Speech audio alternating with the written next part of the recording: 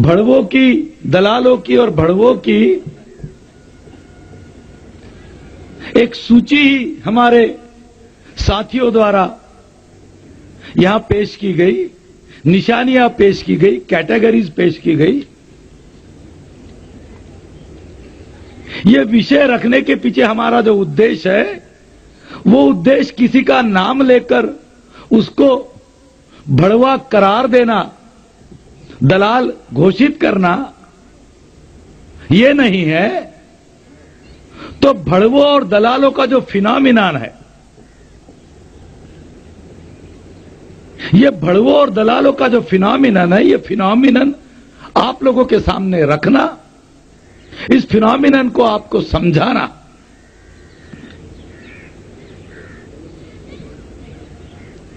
क्योंकि भड़वे और दलालों के नाम समय समय पर बदलते रहेंगे। आज जिन लोगों के आपने नाम लिए,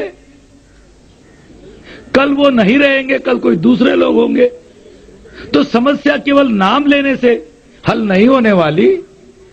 तो समय समय पर ये जो भड़वागिरी और दलालगिरी समाज में जो चलती है, ये किस प्रकार से चलती है, ये क्या है? इसको समझना, इसको पहचानना और इसको हमारे समाज में लोगों को सिखाना कि भाई इसको कैसे पहचाना जाए, उसकी पहचान समाज में देना, ये इस चर्चा के, इस इस विषय को रखने का उद्देश्य है। आप में से बहुत लोगों ने, बहुत से लोगों ने बंबई देखी होगी। बंबई में आप लोगों ने गेटवे ऑफ़ इंडिया देखा होगा। चौपाटी देखी होगी। जूहू बीच देखा होगा। बंबई में एक और बहुत देखने वाली चीज़ है।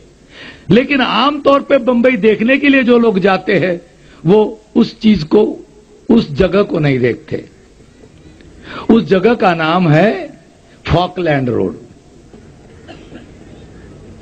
वो देखने वाला इसलिए है कि उस फॉकलैंड रोड पर बंबई की वेश्याएँ रहती है। और फॉकलैंड रोड पर कौन सी वेश्याएँ रहती है?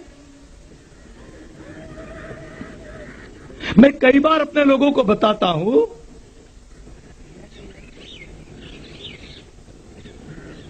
क्योंकि कई बार जो साम्यवादी और समाजवादी लोग हैं जो पुरोगामी लोग हैं, वो ये कहते कि वेशा की कोई जात नहीं होती वेशा वेशा होती है।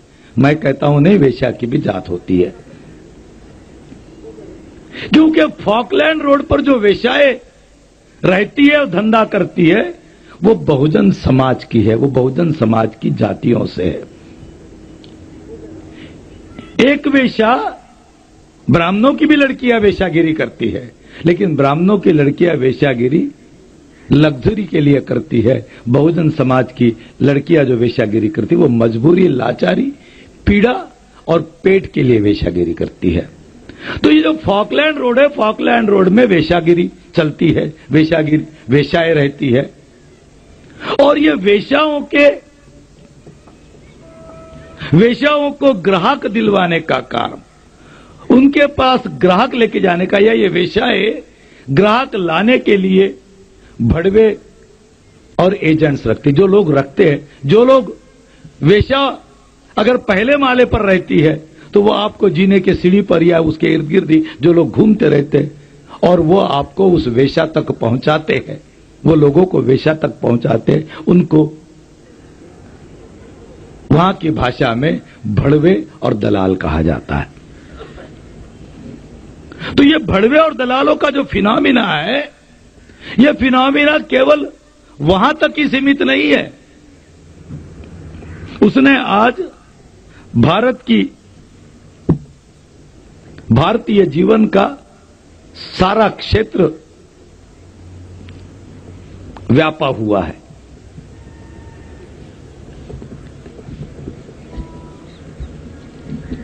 ये भड़वे और दलाली, भड़वे और दलालों का जो निर्माण है ये निर्माण जो प्रतिक्रांतिवादी लोग करते हैं, जो शासक जाति के लोग हमारे बीच में जो भड़वे और दलालों का जो निर्माण करते हैं, ये उनको क्यों करना पड़ा? सबसे पहले तो ये बात आपको समझना होगा। क्या मजबूरी है? क्योंकि ये उनकी भी मजबूरी है।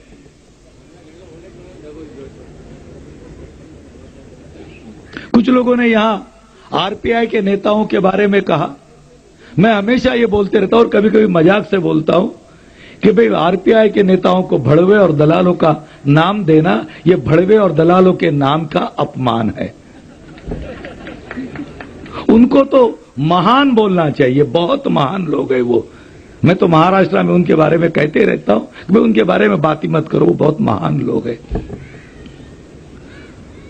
तो ये जो भड़वे और दलाली का जो फिनामिना है, इस फिनोमिने की शुरुआत वैसे 1932 से होती है, जब पूना पैक्ट हुआ। गांधी जी के आमरण अनशन से जो पूना पैक्ट गांधी और अंबेडकर में के बीच में हुआ, उससे ये भड़वे और दलालों के निर्माण की प्रक्रिया शुरू हुई। लेकिन आज़ादी के बाद ये बहुत ज़्यादा बढ़ गई। ये इतनी बढ़ गई कि उन्नीस सौ बावन का जो पहला संसदीय चुनाव हुआ, उस संसदीय चुनावों के नतीजे जब बाबा साहब अंबेडकर ने देखे तो बाबा साहब अंबेडकर ने जिस राजनीतिक आरक्षण से भड़वे और दलालों का निर्माण हुआ, बाबा साहब ने उन्नीस सौ बावन में ही इस राजनीतिक आरक्षण को समाप्त करने की मांग की थी। कि हमें रा, राजनीतिक आरक्षण नहीं चाहिए।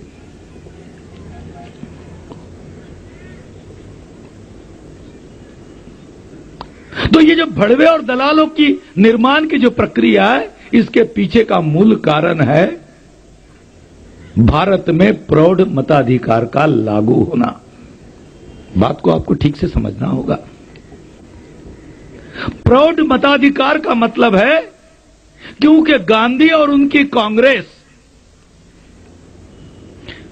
जो बात आज वर्तमान में बीजेपी के लोग कह रहे हैं, क्योंकि कल हम संविधान के बदलाव पर बातचीत करने वाले हैं, कुछ बातें उस समय भी आएँगी।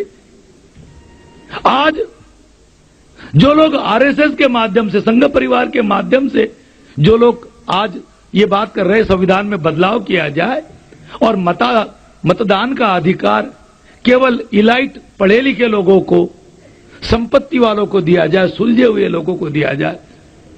राजनीतिक अस्थिरता, वो जो कहते हैं, उसको रोकने के लिए वो ये मांग कर रहे हैं।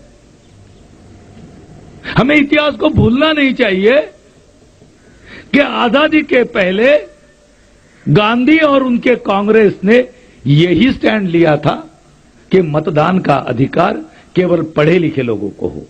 केवल शिक्षित लोगों को हो या संपत्ति धारण करने वाले लोगों को। मतलब समाज के जनसाधारण को, आम आदमी को मतदान का अधिकार ना दिया जाए।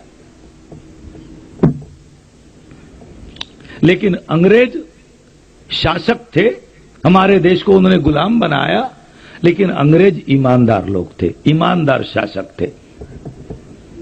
और ईमानदार शासक होने के नाते उन्होंने जब बर्तानिया में प्रौढ़ मतदान का अधिकार सभी को दिया तो वही सिद्धांत उन्होंने उनके गुलाम देश को भी लागू किया और उन्होंने यहाँ के नागरिकों को भी प्रौढ़ मतदान का अधिकार दिया कि जो जो बालिग है, उसको मतदान करने का अधिकार है, चाहे वो भिकारी हो,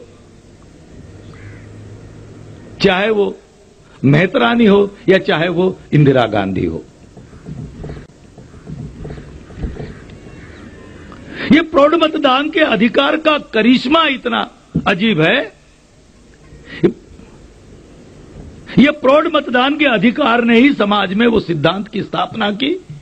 One man one vote and one vote one value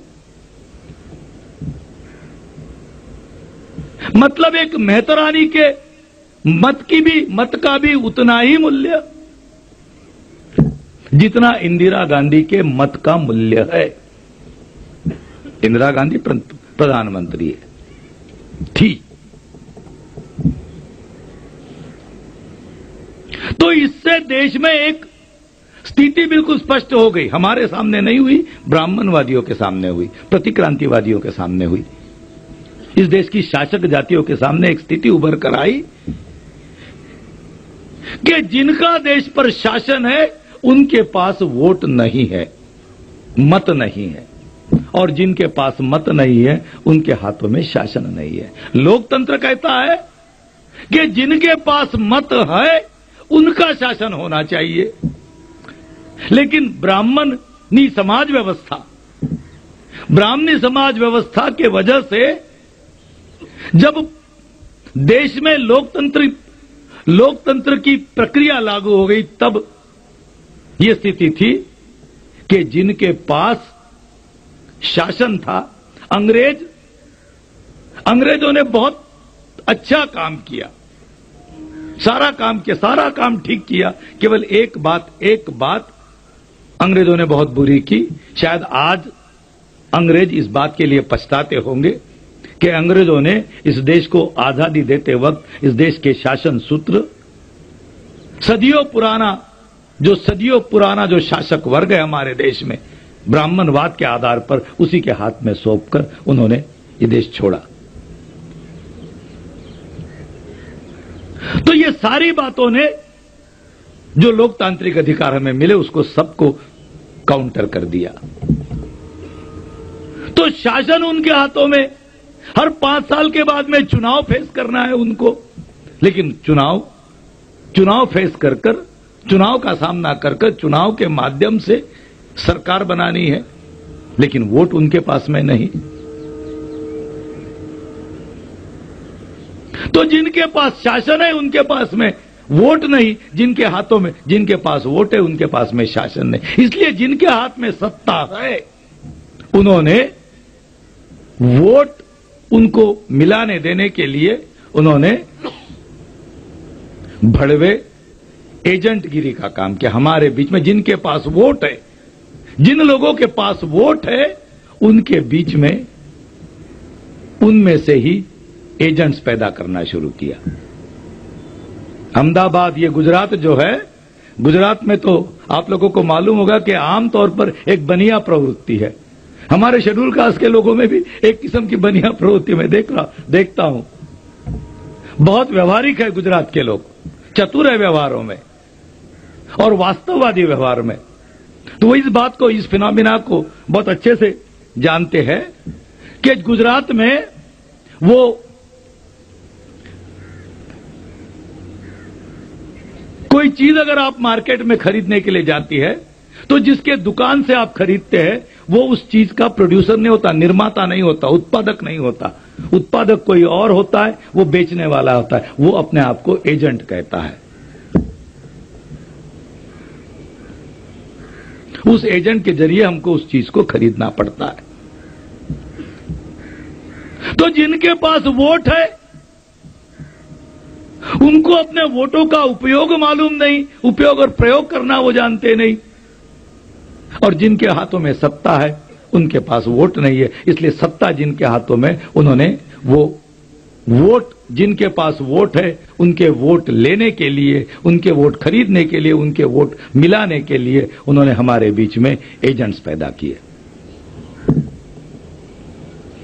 ये एजेंट्स और भड़वेगिरी का सबसे सबसे निर्माण की सबसे बड़ी, सबसे बड़ा कारण है।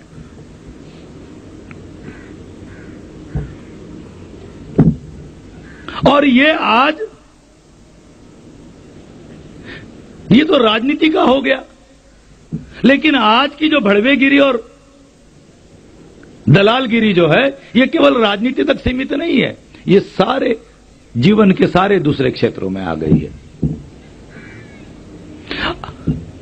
और मैं आपको एक बात बताना चाहता हूँ कि राजनीति की भड़वेगिरी तो राजनीतिक भड़वागिरी जो है, वो आज हमारा आम आदमी, हमारे समाज का जो आम आदमी, बहुजन समाज का जो आम आदमी है, वो तो आज काफ़ी हद तक पहचान लेता है, लेकिन दूसरे क्षेत्रों की जो बड़वेगिरी है, वो अभी पहचानना, वो तो हमारे पढ़े लिखे लोगों को भी पहचानना मुश्किल होता है। तो आज की जो राजनीति की जो भड़वेगिरी है, वो तो समाज के सामने नंगे हो गई है, नंगी हो गई है।